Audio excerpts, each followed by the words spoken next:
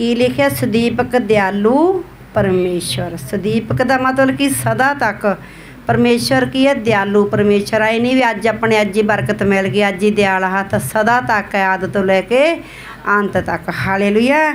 ਕਹਿੰਦੇ, ਯਹੋਵਾ ਦਾ ਧੰਨਵਾਦ ਕਰੋ ਕਿ ਉਹ ਭਲਾ ਹੈ। ਹਾਲੇਲੂਇਆ।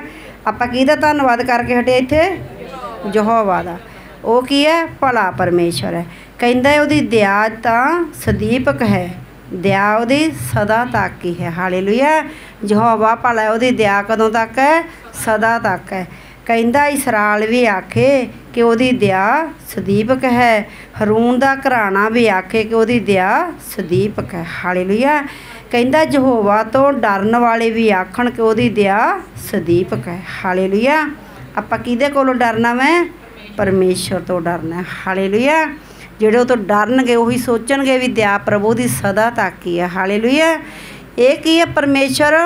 ਇਹ ਜਿੰਨਾ ਆਪਾਂ ਨੂੰ ਵੰਡਦਾ ਵਾ, ਉਹਦੇ ਘਰੇ ਕਿਸੇ ਚੀਜ਼ ਦਾ ਘਾਟਾ ਨਹੀਂ, ਉਹ ਦੇ ਹੀ ਜਾਂਦਾ ਦੇ ਹੀ ਜਾਂਦਾ ਉਹ ਕਹਿੰਦੇ, ਆਪਾਂ ਜੀ ਤੋਂ ਮੰਗਦੇ ਆ ਉਹ ਦਿੰਦਾ, ਬਰਕਤਾਂ ਦਿੰਦਾ ਕਹਿੰਦਾ, ਤੈਨੂੰ ਮੰਗਣਾ ਨਹੀਂ ਆਉਂਦਾ ਤੇ ਮੈਂ ਕੀ ਕਰਾਂ? ਹਾਲੇਲੂਇਆ ਆਪਾਂ ਜਦੋਂ ਪਰਮੇਸ਼ਰ ਤੋਂ ਮੰਗਣਾ, ਸਿੱਧੇ ਮਨ ਦੇ ਨਾਲ ਮੰਗਣਾ ਵਾ। ਹਾਲੇਲੂਇਆ ਸੱਚਮੁੱਚ ਉਹ ਕਹਿੰਦਾ, ਮੈਂ ਦਾ ਪਰਮੇਸ਼ਰ ਤਾਂ ਦਾਤਾਂ ਵੰਡਦਾ, ਉਹਦਾ ਤਾਂ ਦਿਆ ਸਦਾ ਤੱਕ ਰਹਿੰਦੀ ਹੈ। ਪਰ ਉਹ ਕਹਿੰਦਾ ਤੈਨੂੰ ਮੰਗਣ ਦਾ ਹਜੇ ਤੱਕ ਢੰਗ ਹੀ ਨਹੀਂ ਆਇਆ ਆਇਆਗਾ ਹਾਲੇਲੂਇਆ। ਸੱਚਮੁੱਚ ਜਦੋਂ ਆਪਾਂ ਪਰਮੇਸ਼ਰ ਤੋਂ ਆਪਾਂ ਆਪਾਂ ਦੇਖਣਾ ਪਰਮੇਸ਼ਰ ਤੋਂ ਆਪਾਂ ਕਿਹੜੇ ਹਿਸਾਬ ਨਾਲ ਮੰਗਦੇ ਆ। ਜੇ ਆਪਣਾ ਬੱਚਾ ਆਪਣਾ ਕੋਈ ਚੀਜ਼ ਮੰਗਦਾ, ਰੋਬ ਨਾਲ ਮੰਗੂ, ਆਪਾਂ ਦੇਵਾਂਗੇ ਉਹਨੂੰ? ਦੇਵਾਂਗੇ? ਨਹੀਂ ਦਿੰਦੇ। ਹਾਲੇਲੂਇਆ। ਜੋ ਪਿਆਰ ਨਾਲ ਮੰਗੂ, ਫਿਰ ਆਪਾਂ ਉਹਨੂੰ ਦੇ ਦਿੰਨੇ ਆ। ਆਪਾਂ ਫਿਰ ਉਹ ਤੇ ਜਾਨ ਵੀ ਆਪਦੀ ਵਾਰਦੇ ਆ। ਹਾਲੇਲੂਇਆ। ਇਸੇ ਤਰ੍ਹਾਂ ਪਰਮੇਸ਼ਰ ਤੋਂ ਆਪਾਂ ਕਿਵੇਂ ਮੰਗਣਾ, ਨਿਮਰ ਹੋ ਕੇ ਕੀ ਕਰਨਾ, ਉਹਦੇ ਅੱਗੇ ਝੁੱਕ ਕੇ। ਹਾਲੇਲੂਇਆ। ਨ- ਹਲੀਮੀ ਦੇ ਨਾਲ, ਪਿਆਰ ਦੇ ਨਾਲ ਉਹਦੇ ਨ ਬਹਿ ਕੇ ਮੰਗਣਾ ਮੈਂ, ਹਾਲੇਲੂਇਆ।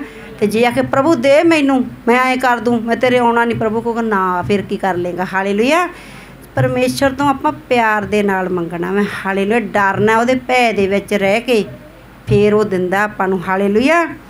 ਕਹਿੰਦਾ ਮੈਂ ਦੁੱਖ ਵਿੱਚ ਯਹੋਵਾ ਨੂੰ ਪੁਕਾਰਿਆ, ਯਹੋਵਾ ਨੇ ਉੱਤਰ ਦੇ ਕੇ ਮੈਨੂੰ ਖੁੱਲੇ ਥਾਂ ਵਿੱਚ ਰੱਖਿਆ। ਹਾਲੇਲੂਇਆ। ਆਪਾਂ ਇਹ ਨਹੀਂ ਵੀ ਦੁੱਖਾਂ ਵਿੱਚ ਹੀ ਯਹੋਵਾ ਨੂੰ ਪੁਕਾਰਨਾ, ਦੁੱਖ ਹੋਵੇ ਚਾਹੇ ਸੁੱਖ ਹੋਵੇ, ਪਰਮੇਸ਼ਰ ਨੂੰ ਪੁਕਾਰਨਾ ਹੀ ਪੁਕਾਰਨਾ ਮੈਂ ਹਾਲੇਲੂਇਆ। ਆਪਣੇ ਮੂੰਹ ਦੇ ਵਿੱਚ ਸੰਸਾਰ ਦੀਆਂ ਗੱਲਾਂ ਘੱਟ ਹੋਣ ਪਰਮੇਸ਼ਰ ਦੀ ਉਸਤਤੀ ਬਾਲੀ ਕਰਨੀ ਆ ਆਪਾਂ। ਹਾਲੇਲੂਇਆ।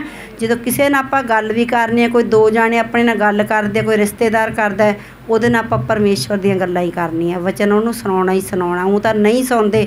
ਆਪਾਂ ਨੂੰ ਅੱਜੀ ਪੱਜੀ ਸੁਣਾ ਦਿਆਂਗੇ ਤਾਂ ਉਹਨਾਂ ਦੇ ਦਿਲਾਂ ਦੇ ਉੱਤੇ ਜਾ ਕੇ ਉਹ ਜਮਾ ਹੋ ਜਾਊਗਾ। ਹਾਲੇਲੂਇਆ। ਕੀ ਪਤਾ ਉਹਨਾਂ ਦੀਆਂ ਵੀ ਜ਼ਿੰਦਗੀਆਂ ਬਦਲਣੀਆਂ, ਜਦੋਂ ਆਪਣੇ ਨਾਲ ਉਹੋ ਜੀ ਗੱਲ ਕਰਾਂਗੇ, ਕੋਈ ਪਰਮੇਸ਼ਰ ਵਾਲੀ ਗੱਲ ਕਰਾਂਗੇ। ਹਾਲੇਲੂਇਆ। ਹਾਲੇਲੂਇਆ।